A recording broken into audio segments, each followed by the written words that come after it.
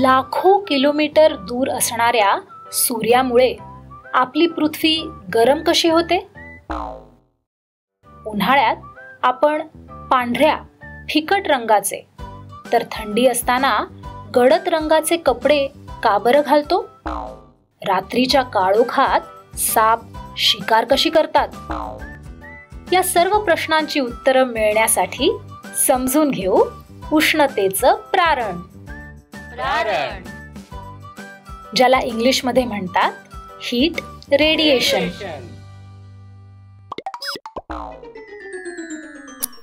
खेळ आगीचा म्हणून व्यवस्थित काळजी घेणं महत्वाचं आधी मेणबत्तीच्या वर हात धरा आणि उष्णता अनुभवा. मग तिच्या दोन्ही बाजूला. जास्त उष्णता कुठे जाणवली? आणि कमी उष्णता कुठे जाणवली? बाजूला. आपल्याला माहिती आहे की मेणबत्तीच्या वरची हवा अभिसरणामुळे गरम होते. तिथे अभिसरण प्रवाह तयार होतात. पण मग मेणबत्तीच्या बाजूला? इथे उष्णता पोहोचते प्रारणामुळे. आणि हीच आहे उष्णता ऊर्जा एका ठिकाणाहून दुसऱ्या ठिकाणी जाण्याची. म्हणजेच उष्णतेच्या संक्रमणाची आणखी एक पद्धत.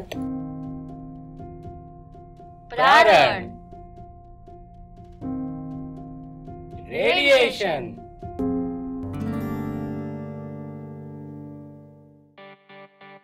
आपल्याला माहितीये की स्थायू वस्तूंमध्ये उष्णतेचं वहन होतं. कणांच्या कंपनांमुळे उष्णता संक्रमित होते आणि वस्तू गरम होतात. द्रव आणि वायूंमध्ये उष्णतेचं संक्रमण होतं अभिसरणामुळे. त्यांचे कण स्वतःच्या जागा बदलून उष्णता एका ठिकाणाहून दुसऱ्या ठिकाणी वाहून नेतात. प्रारणामध्ये उष्णता एका ठिकाणाहून दुसऱ्या ठिकाणी जाण्यासाठी कणांची मदत लागत नाही. प्रारणासाठी माध्यमाची गरज नसते. आपल्या सभोवती उष्णतेचं संक्रमण या तीन प्रकारे होत असतं.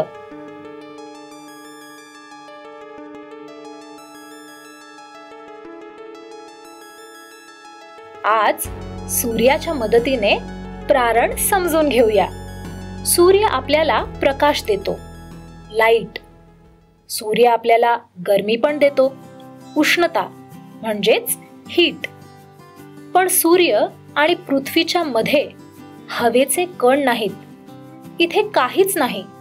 म्हणजेच निर्वात एमटी किंवा व्हॅक्यूम इथे ना उष्णतेचं वहन होऊ शकतं ना अभिसरण.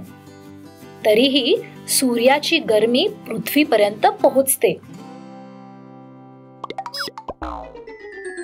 सूर्यप्रकाश आणि उष्णता यांचा संबंध काचेच्या लोलकासोबत म्हणजे प्रिझम सोबत. सूर्याचं सप्तरंगी ऊन. प्रिझमच्या मदतीनं आपण हा सात रंगांचा प्रकाश कागदावर पाडला आहे. मी कागदावर असा प्रकाश पहिल्यांदाच पाहिला. मज्जा आली. जांभळा पारवा निळा हिरवा पिवळा नारंगी तांबडा.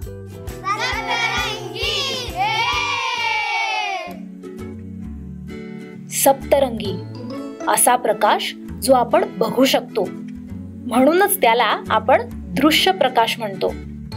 सूर्याची किरणं जेव्हा प्रिझम मधून पलीकडे जातात तेव्हा त्यांचं विभाजन सात रंगांमध्ये होतं आणि आपण त्यांना वेगवेगळं बघू शकतो. सूर्याच्या प्रकाशात आणखीही अनेक लहरी आहेत ज्या आपण पाहू शकत नाही. या न दिसू शकणाऱ्या लहरींचा संबंध आहे उष्णतेशी. यासाठी डब्यात वेगवेगळ्या ठिकाणी तापमापी लावली आहेत. एक जांभळ्या रंगाच्या बाजूला आणि दुसरी लाल रंगाच्या खाली. लाल रंगाच्या खाली असतो अवरक्त प्रकाश. म्हणजेच इन्फ्रारेड रेज दोन्ही तापमापीमध्ये तापमान समान असेल का? तापमापीमध्ये स्पष्ट दिसतंय की लाल रंगाच्या खाली तापमान जास्त आहे जांभळ्या रंगाकडे कमी. याचाच अर्थ वेगवेगळ्या रंगाच्या प्रकाशामध्ये वेगवेगळ्या प्रमाणात उष्णता असते. जांभळ्या रंगाकडे कमी तर लाल रंगाच्या बाजूला जास्त उष्णता असते. इन्फ्रारेड अवरक्त. इन्फ्रारेड अवरक्त. सूर्याच्या किरणांमध्ये मोठ्या प्रमाणावर इन्फ्रारेड म्हणजेच अवरक्त किरण असतात. जर आपण सूर्याचं अवरक्त चित्रण केलं तर तो आपल्याला असा दिसेल. आणि आपली पृथ्वी अशी. आता तर असे कॅमेरे बनले आहेत जे अवरक्त प्रकाशात फोटो काढू शकतात. खर तर प्रत्येक वस्तू स्वतःच्या तापमानानुसार अवरक्त प्रकाश सोडते. अवरक्त प्रकाशामधले रंग त्या भागाचं तापमान दाखवतात. लाल रंगाचा भाग जास्त गरम आणि निळ्या रंगाचा भाग तुलनेने कमी गरम. तुम्हाला माहितीये का? गुगल आपल्याला लोकसंख्या झाडं आणि ट्रॅफिकची माहिती सुद्धा अवरक्त प्रकाशाच्या मदतीने केलेल्या चित्रीकरणामुळेच देऊ शकतो. गुगल महाराज तर यासाठी इन्फ्रारेड कॅमेरे वापरतात. पण साप? ते तर कॅमेराशिवाय प्रारणाचा वापर करतात. आणि रात्रीच्या काळोखात अवरक्त किरणांचा माग काढून भक्ष शोधतात. काळोखातही भक्ष्याच्या शरीरातून निघणारी उष्णता सापांना जाणवत असते. त्यावरून ते भक्ष्याचा पाठलाग करतात आणि आपलं पोट भरतात. खेळूया आणखी एक खेळ. काचेच्या दोन बाटल्या. काळा कागद पांढरा कागद आणि तापमापी. चिकण माती किंवा मळलेल्या कणकेच्या मदतीनं दोन्ही बाटल्यांमध्ये एक एक तापमापी बसवली. एका तापमापीवर काळा तर दुसऱ्या तापमापीवर पांढरा कागद गुंडाळला आणि दोन्ही बाटल्या कडक उन्हात ठेवल्या. दहा मिनिटांनी तापमान किती असेल? काळा कागद गुंडाळलेल्या बाटलीत तापमान पंचेचाळीस डिग्री सेल्सिअस तर पांढरा कागद गुंडाळलेल्या बाटलीत तापमान झालंय फक्त एकोणचाळीस डिग्री सेल्सिअस. हे असं का झालं असावं? काळ्या रंगाचा कागद दृश्य प्रकाश आणि अवरक्त किरणांचा प्रकाश दोन्ही शोषून घेतो म्हणजेच अब्झॉर्ब करतो. काळ्या बाटलीने सर्व प्रकाश घेतला आणि बाहेर सोडला नाही तो आतच ठेवला. पण पांढरा कागद असं करत नाही. त्याच्यावर पडणारा बराचसा दृश्य आणि अवरक्त प्रकाश तो परावर्तित म्हणजेच रिफ्लेक्ट करतो. म्हणूनच पांढऱ्या कागदात गुंडाळलेली बाटली कमी गरम झाली. सफेद रंग कमी प्रकाश आत घेतो आणि जास्त प्रकाश बाहेर सोडतो. प्रारण तर आपल्या सभोवती सर्वत्र होत असतं.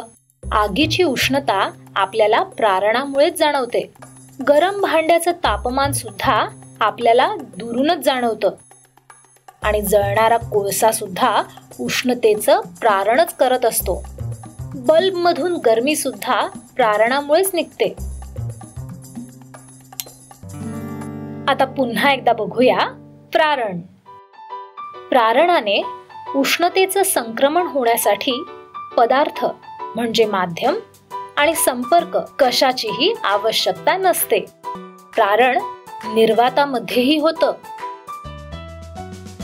प्रारणामुळेच सूर्याची उष्णता पृथ्वीपर्यंत पोहोचते. अवरक्त किरण प्रत्येक वस्तूमधून निघतात. मग ती आग असो किंवा आपण स्वतः. मग आता विचार करा आणि तुम्हीच सांगा. कडक उन्हाळ्यात घराबाहेर पडताना तुम्ही कोणत्या रंगाचे कपडे घालाल? पांढरे आणि फिकट रंगाचे? की गडद आणि काळ्या रंगाचे.